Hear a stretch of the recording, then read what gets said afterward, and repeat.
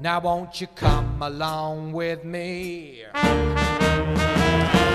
down the Mississippi?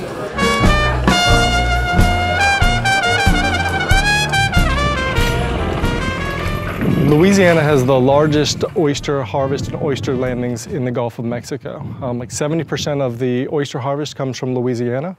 It's a significant economic value to our state. We have thousands of commercial fishermen, processors, restaurants that rely on the industry for, for their living.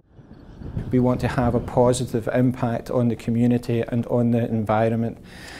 So Shell got involved with the oyster recycling program and this innovative project that was brought to us, we could see how it would have an impact across so many facets for the people of southeast Louisiana.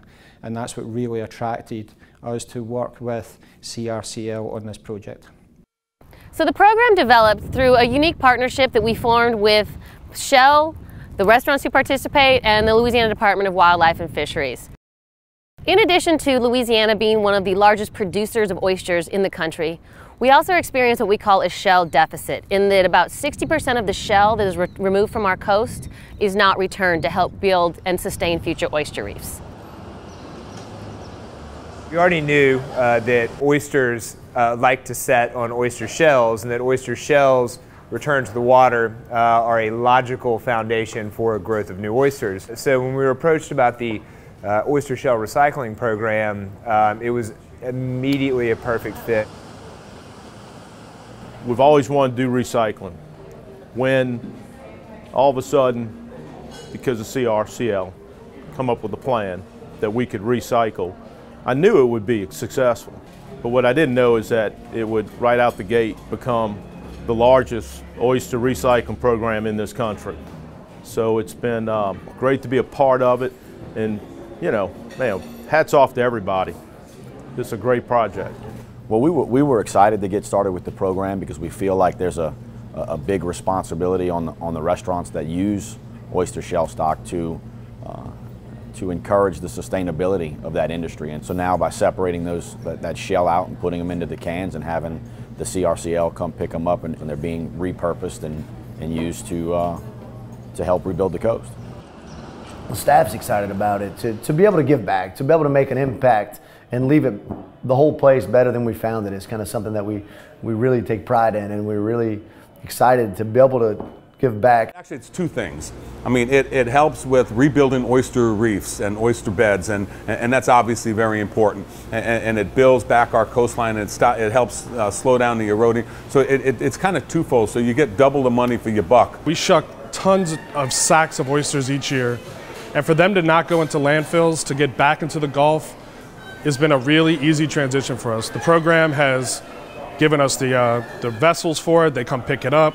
It's really a seamless operation. All right, so this is a 35 gallon oyster shell recycling bin. Basically what happens is we provide restaurants, locations with one of these bins or depending upon the volume that they produce, a number of these bins, and they're picked up five days a week.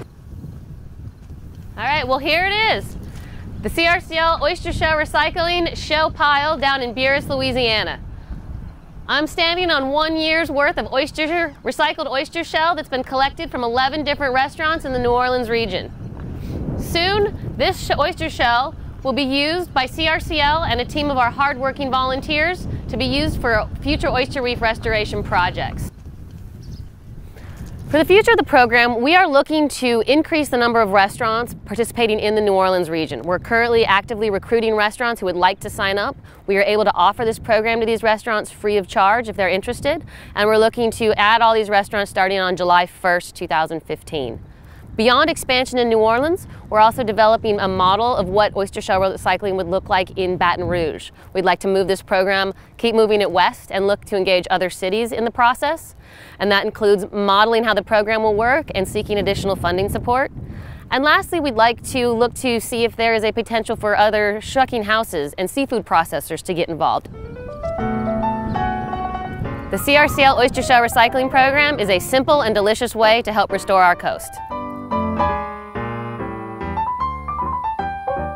Once you shuck them, don't just chuck them. Once you shuck them, don't just chuck them. Once you shuck them, don't just chuck them. Once you shuck them, don't just chuck them. Once you shuck them, don't just chuck them. it's hard not to do it without a little country twang, I think. yeah.